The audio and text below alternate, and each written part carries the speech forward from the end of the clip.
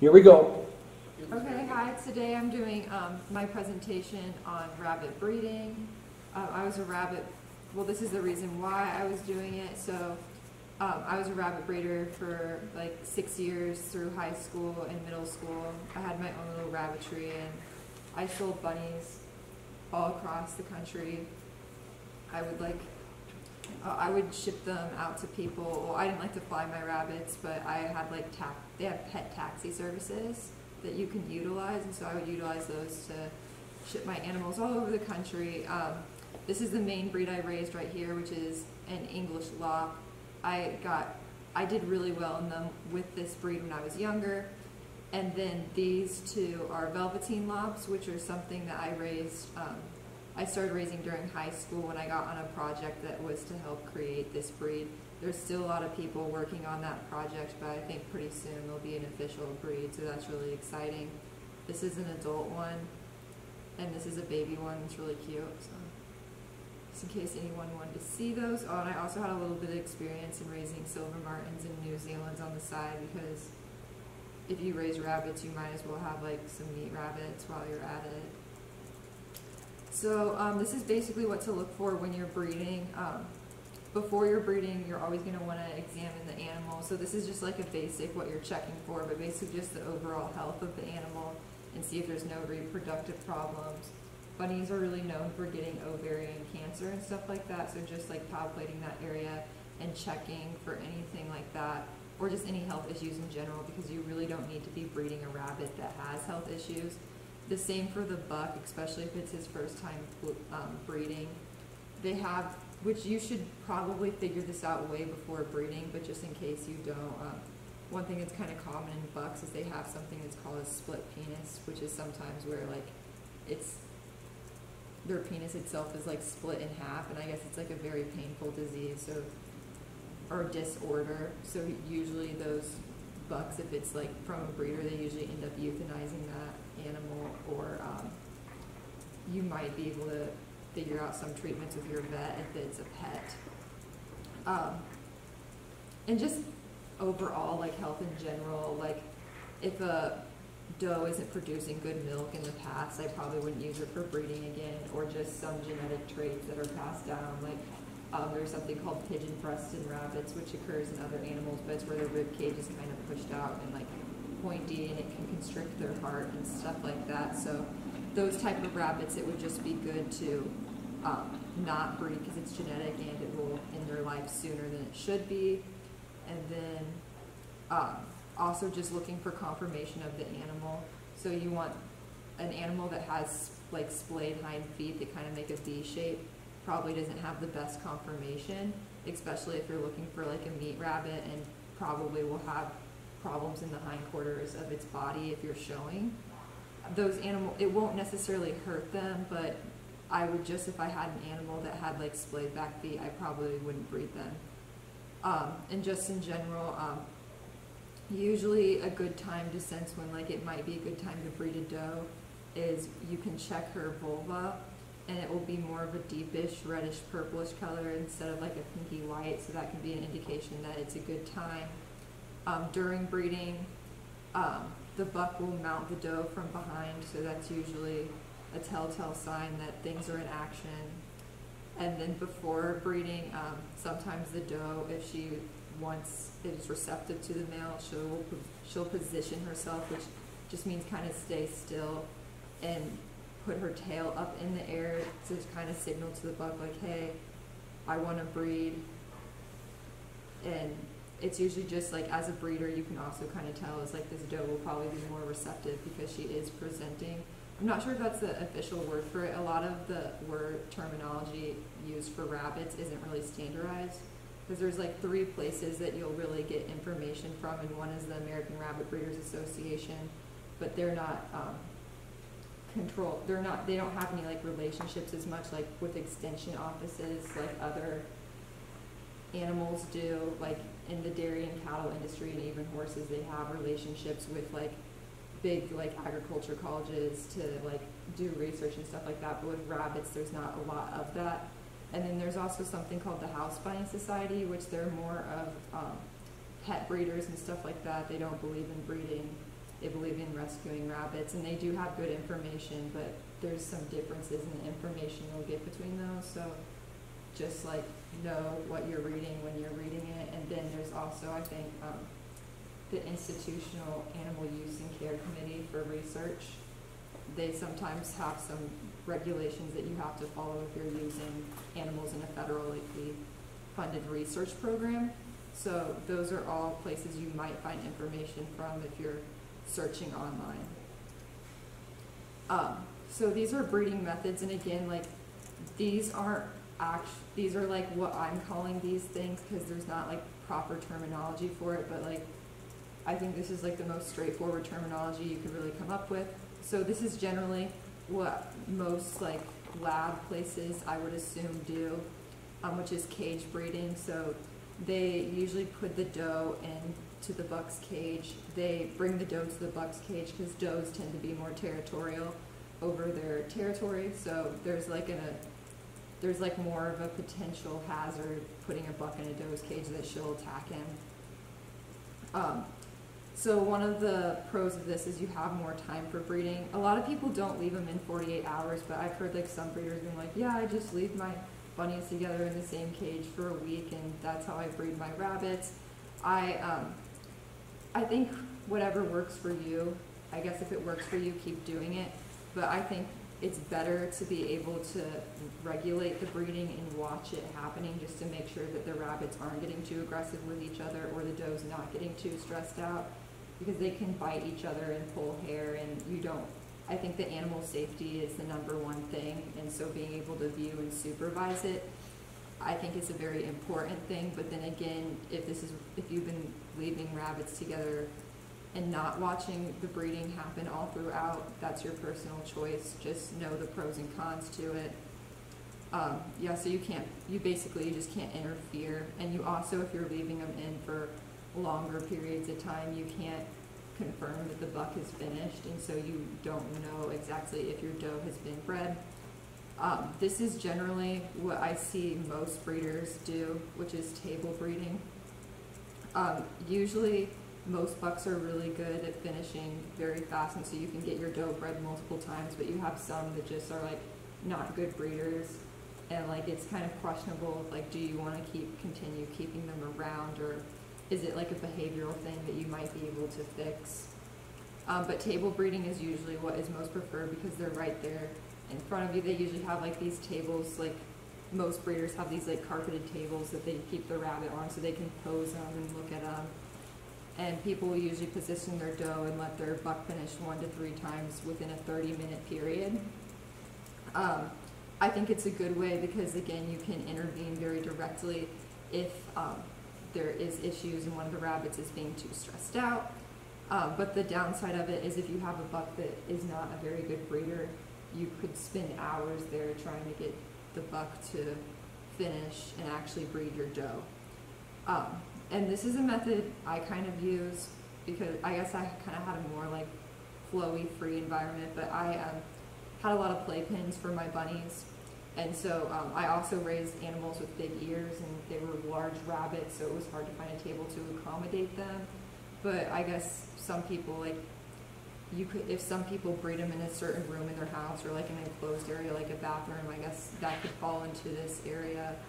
Um, but you basically place the rabbits you want to breed in an enclosed pen. The pen that I used was a pen that both the rabbits were used to playing in, so it was an area that they were comfortable in because I usually um, would have my bunnies out of their cage. Like, I had them on a playtime schedule. I just like to exercise my rabbits because I felt I feel like it makes them happier. So since I could do it, I did. Um, I would generally just do some yard work or sit right by the cage in case I needed to intervene.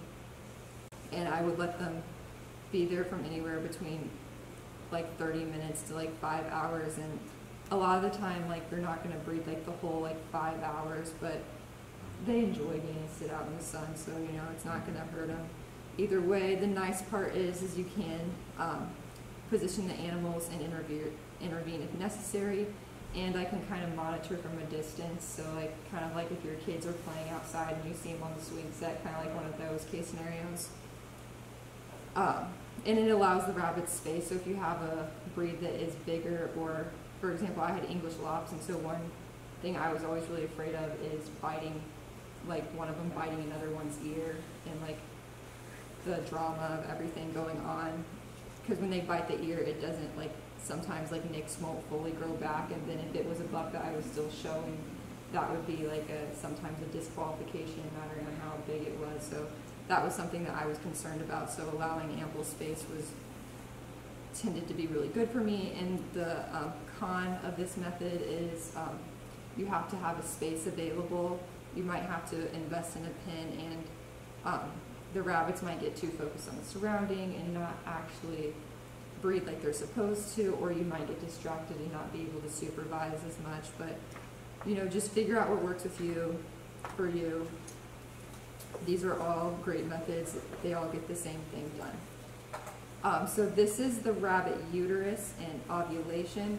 So this picture was like a really simple picture I thought to explain it, but they also had the opossum in here, which I don't really know. They're marsupials, so I was really shocked to see that they had the same uterus type, but the mouse and the rabbit um, have the same uterus have the same uterus type. And online, if you search like rabbit uteruses, a lot of places will say rabbits have two uteruses.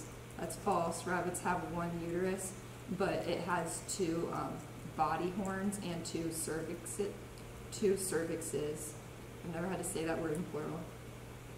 Um, and it also has no um, uterine body.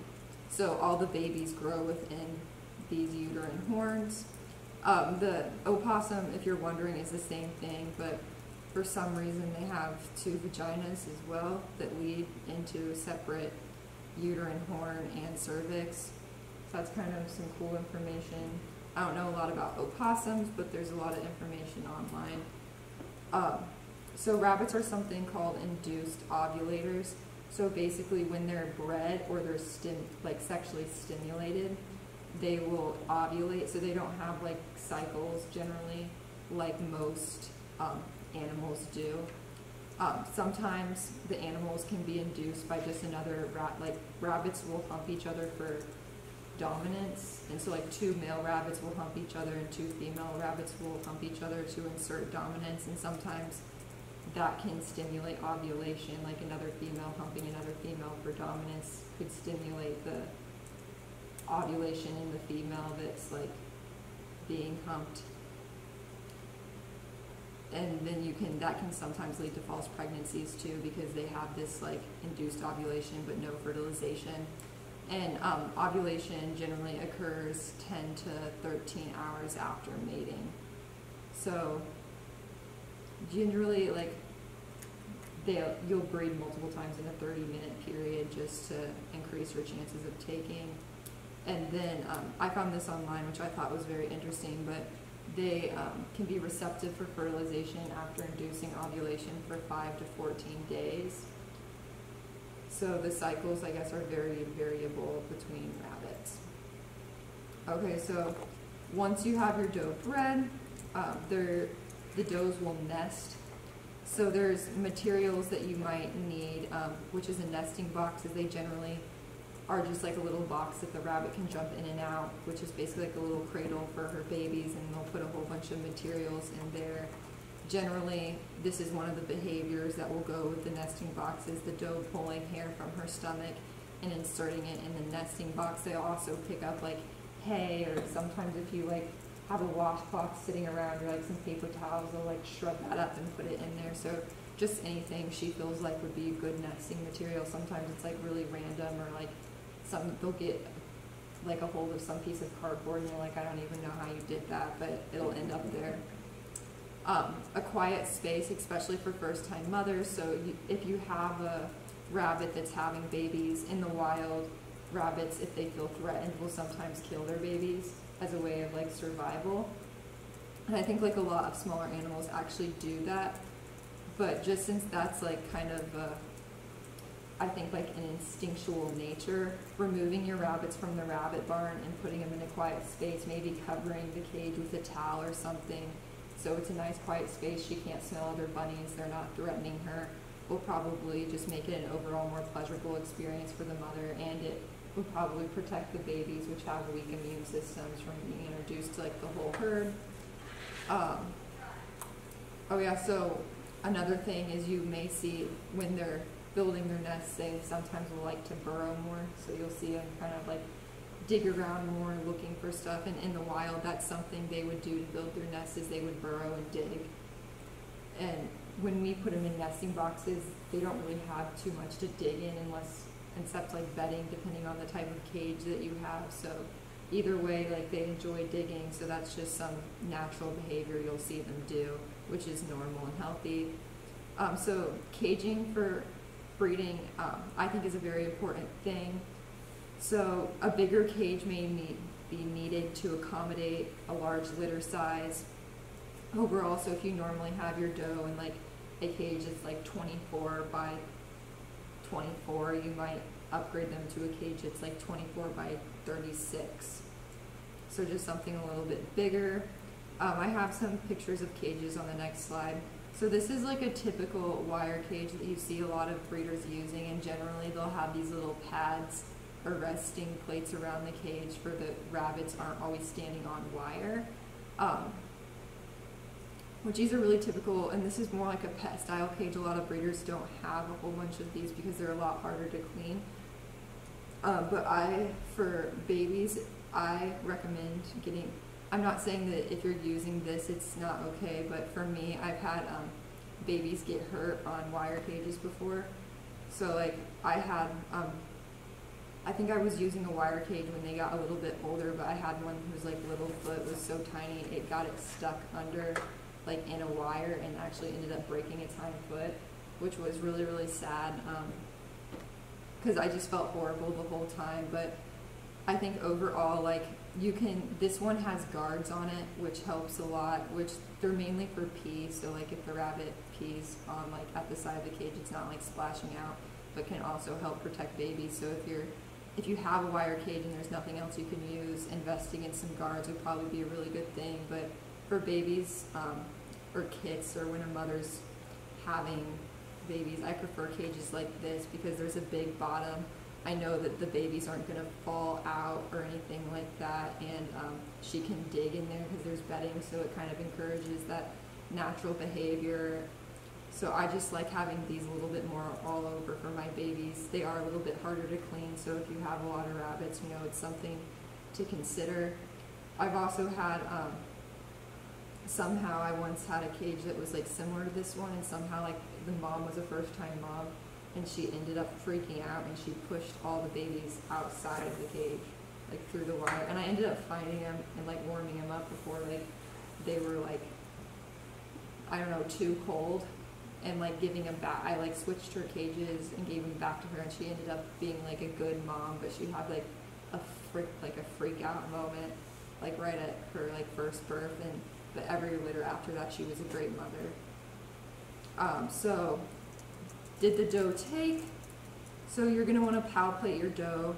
Usually you do this about two weeks after you breed, so about 14 days of pregnancy. Um, so there's different rabbit holding methods, which if I went into all of those, it would probably take way too much time.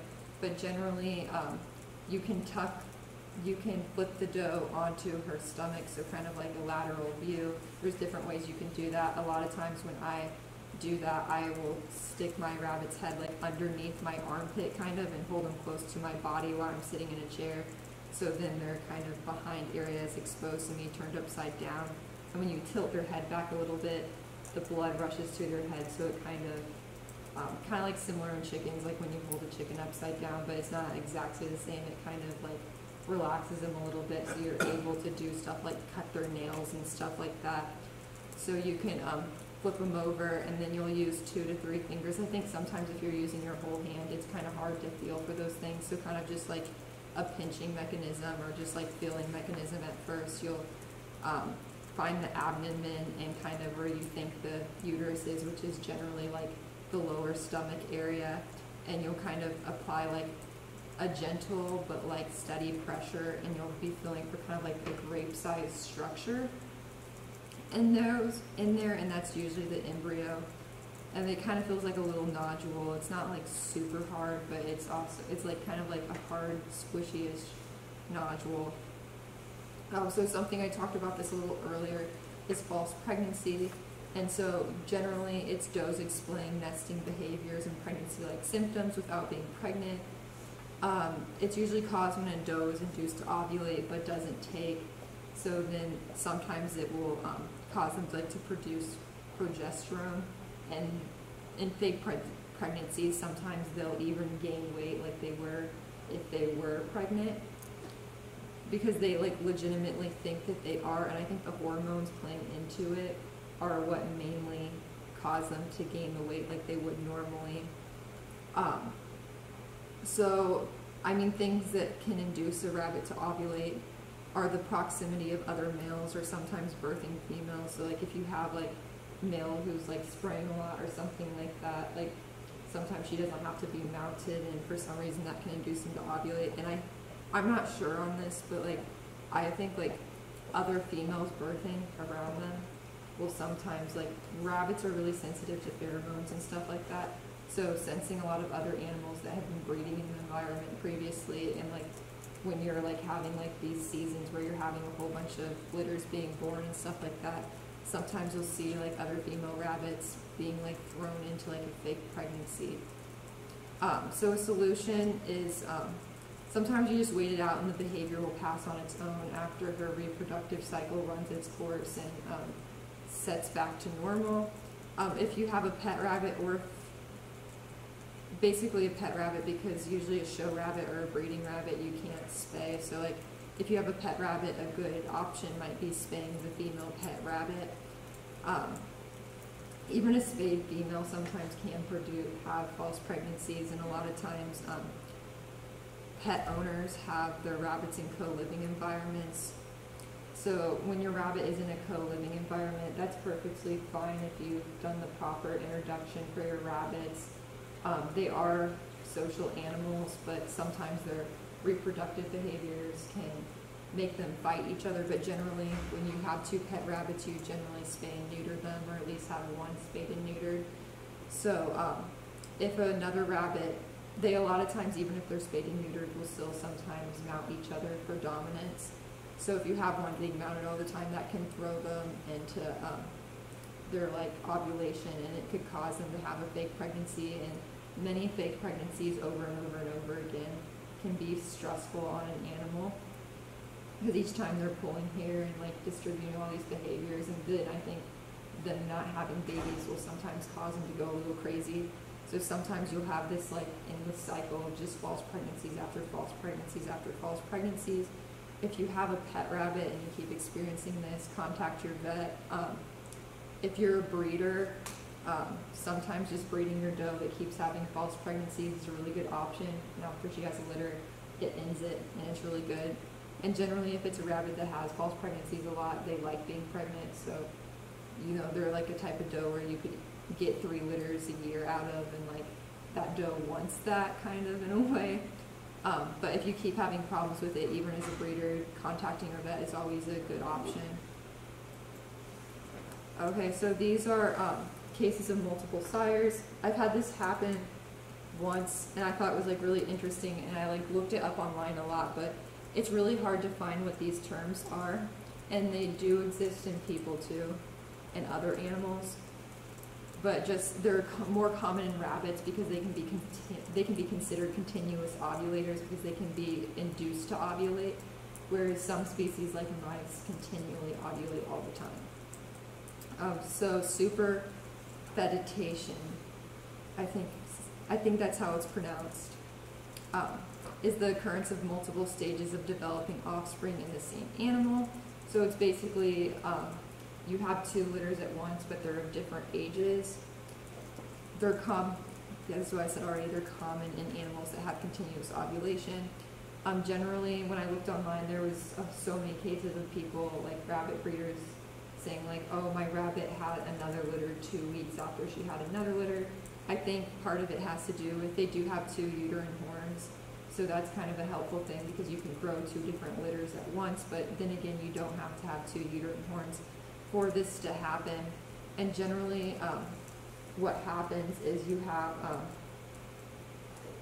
they can remain receptive to fertilization for up to a couple of weeks, but since they have two ovaries, sometimes when they're pregnant, they have like another um, cycle where they like release eggs, and then if they're bred in that time period, it can fertilize those eggs and they'll have two litters.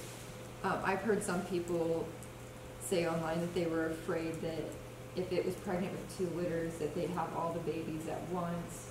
But I've seen some people have just like another litter born two weeks later.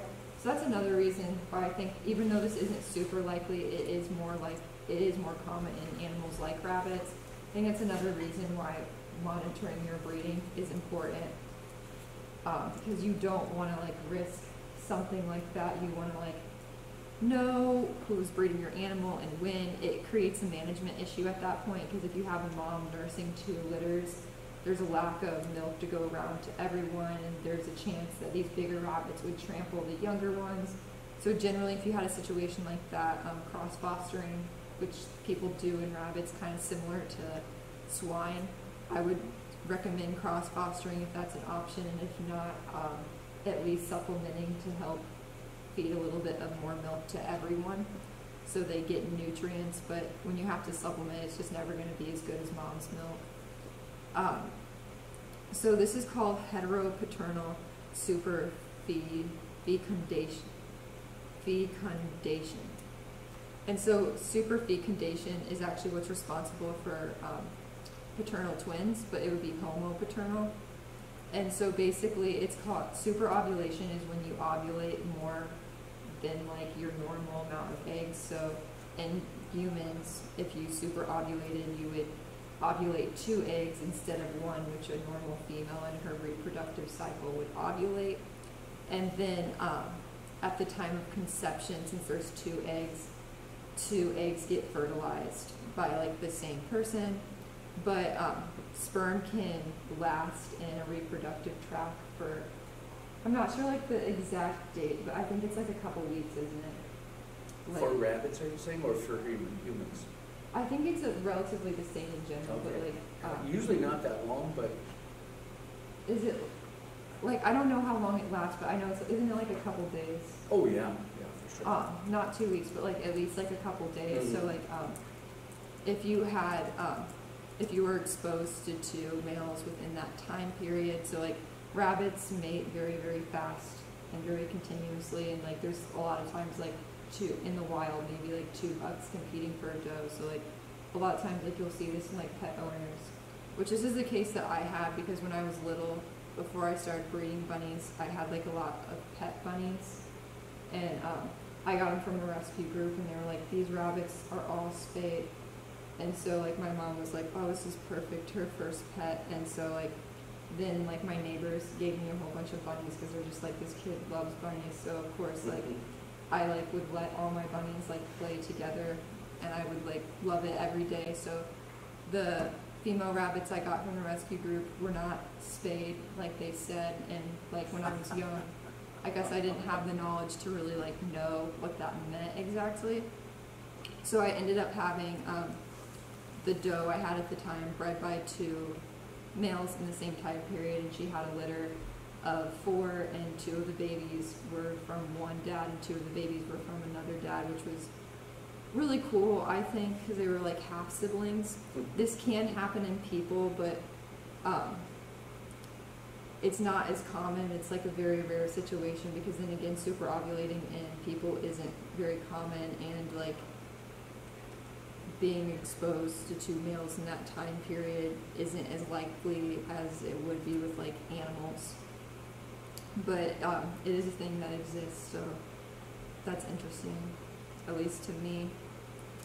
And basically, it's the same thing in homo-paternal, but it, the only difference is it's just like the same male they're being exposed to. Okay, so this is um, sexing kits.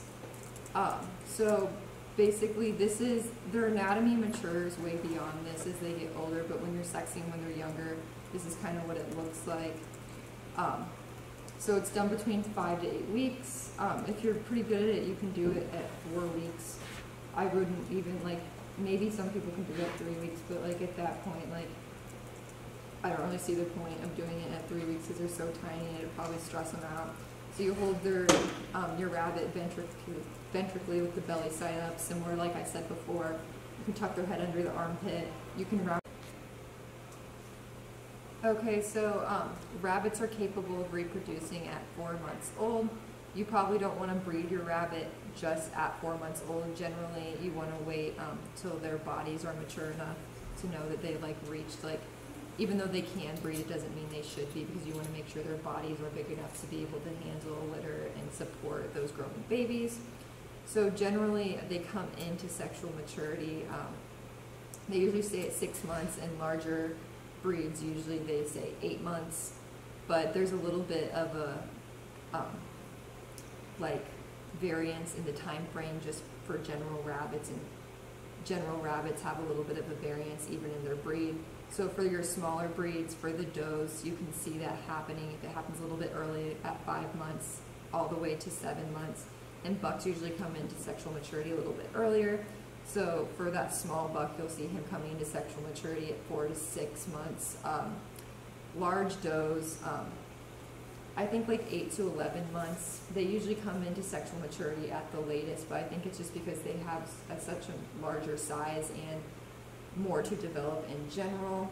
Um, a lot of breeders like to breed a large doe right at eight months because I've seen a lot of people wanting their. Um, a lot of breeders believe. I'm not sure. Like I haven't seen research on this, but a lot of people um, say from experience that they like to have their does bred their first time at like if it's a small doe at six months or a large doe at eight months because they believe that that um, makes easier births by like loosening up the birth canal throughout the lifetime of the rabbit so it takes more uh, i think that will just have to be like personal experience for you so talk to breeders that breed your same breed or um, just experiment yourself um, large bucks usually come into sexual maturity at six to nine months.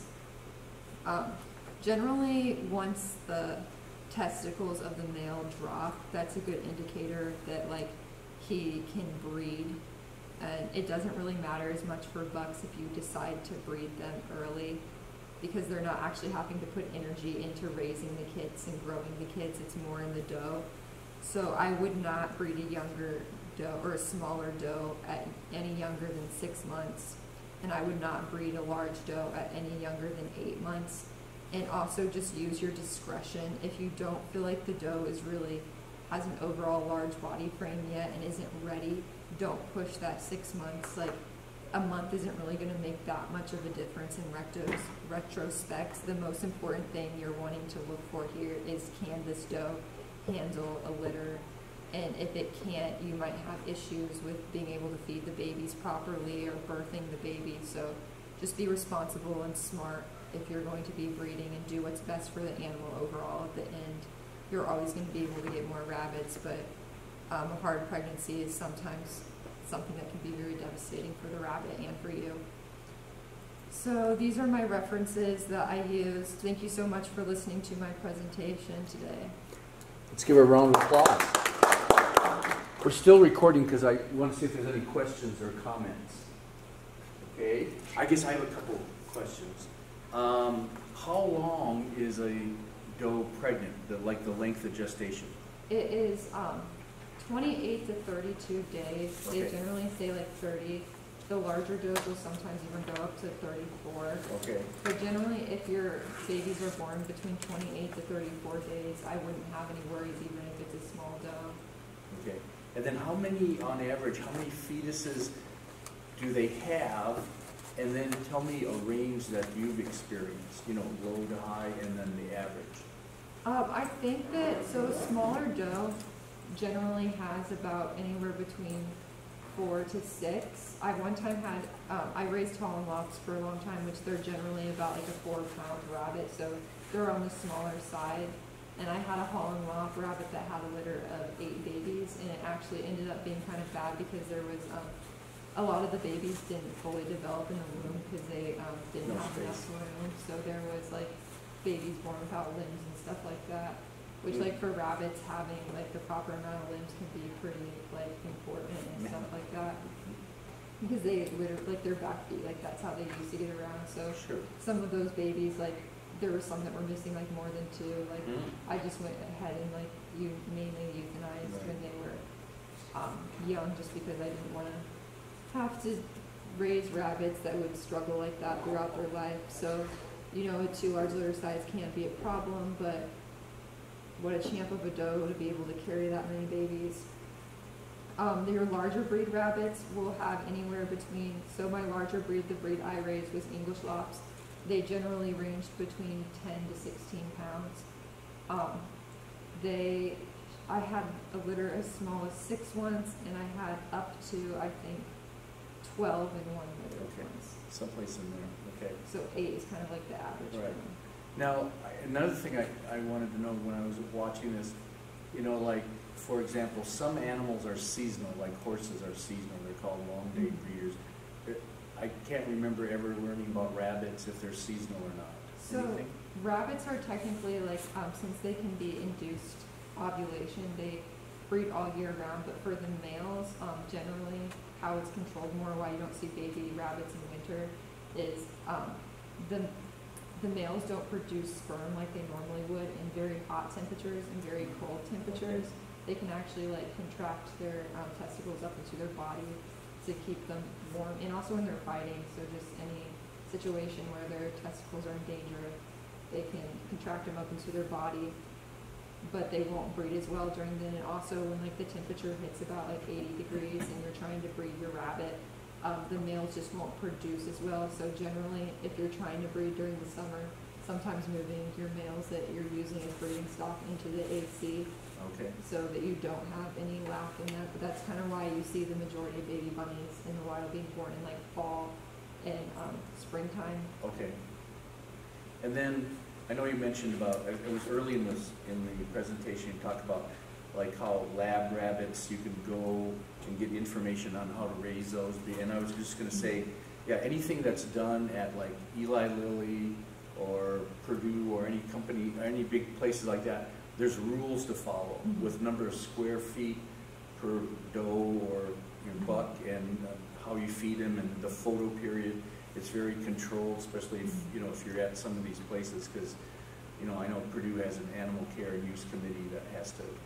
Approve any animal experiment. And then I'm sure Eli Lilly has their own in-house people, because, you know, The how, how's federal one is IACUC, and so it's Institutional Animal Use and Care Committee. Purdue's is PACUC, so it's Purdue Yeah. University Animal Care and Use Committee. Yeah. So there are these guidelines, if somebody's, you know, trying to figure out how to start, at least you have some pretty good guidelines.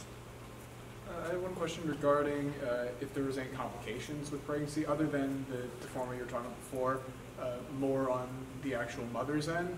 Uh, So I've at least dealt with dogs that haven't been able to give birth to all their babies because they didn't have the strength to keep on pushing uh, or have died during pregnancy. This is in canines. Uh, Have you had any similar issues with anything like that? Uh, What would you do if like a baby's stuck, stuck in the uh, uterus? So generally, um, I've never had some stuck internally, but I've had, um, I've, like, if they sometimes get stuck in the birthing canal, sometimes you can help, like, pull them, but generally, like rabbits, you won't, it's very rare to actually catch them have, in the act of having babies. Because generally, um, like, they'll do it, they're very, I've seen it, I've uh, raised rabbits for a long time, and I only saw one live birth in the entire time that I raised Wow, them. That's amazing. And, How like, big would you say they are, just with your hands or something like that? Um, they're about this big, so probably like Is that fingertip to fingertip, or is that? fingertip to fingertip, so that's probably like, So the size of a small mouse, maybe? yeah, probably like the size of a small mouse, and, um, they're born hairless with closed eyes, they kinda look like naked mole rats, so they're not terribly cute, like, two weeks and like one week old is like the cutest ever, but like right when they're born, kinda look like. Because, yeah, that's a very short gestation length, right? I mean, thirty Mhm. days. That, Yeah. that's crazy. They, um, forgot what I was gonna say, but Then I had one more question, because are they nocturnal? Are, are rabbits um, nocturnal, more active at night than daytime? dawn and dusk is Oh, they're the. They're active. active at dawn and dusk, and I cannot remember the name of that. Anybody in the audience? There is a name, I learned this too. It was an insane word I couldn't Is it crepuscular, crepuscular? That sounds right. Maybe I, I can write that uh, down. It's, isn't it C R E? Crepuscular, it has Crep- dawn and dusk. Okay, crepuscular? Yeah, C R E P. C R E, yeah, crepuscular. Okay, good, we got it recorded. I had, um, one rabbit born one time that had, sometimes they have like rabbits that are born, they have like these dwarf genes and these like